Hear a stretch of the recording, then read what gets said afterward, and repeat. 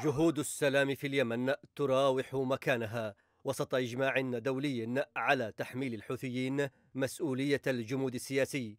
عبر استمرار التصعيد العسكري كان آخره الهجوم الدموي على مارب الذي رفع من منسوب القلق الدولي ودفع الولايات المتحدة وبريطانيا إلى حث الحوثيين على وقف إطلاق النار.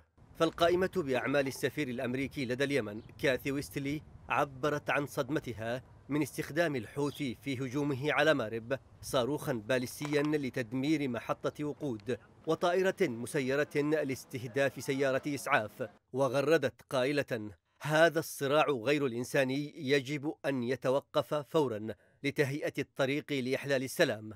بريطانيا من جهتها وصفت الهجوم الحوثي بالمروع. وغرد السفير البريطاني لدى اليمن مايكل آرون على تويتر مطالبا الحوثيين بمنع استمرار الخسائر المأساوية عبر وقف إطلاق النار والسماح للعمل الإنساني والانخراط بجدية مع الأمم المتحدة في مباحثات السلام.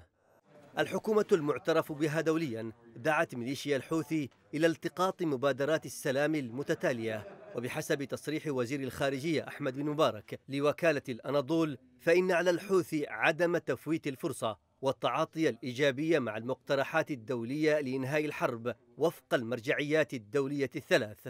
الدعوات الدولية والمحلية للحوثيين تزامنت مع زيارة يجريها وزير الخارجية اليمني إلى مسقط بالتوازي مع وصول أول وفد عماني إلى صنعاء منذ بدء الأزمة اليمنية. وتأتي هذه التحركات العمانية وفق مراقبين بضوء أخضر من واشنطن بعد فشل مبعوثها الخاص ليندر كينغ في إحراز أي تقدم لإقناع الحوثيين بوقف التصعيد. ومع ذلك فإن الرد الحوثي لا يزال متصلبا. هجوم على مأرب والسعودية في آن واحد.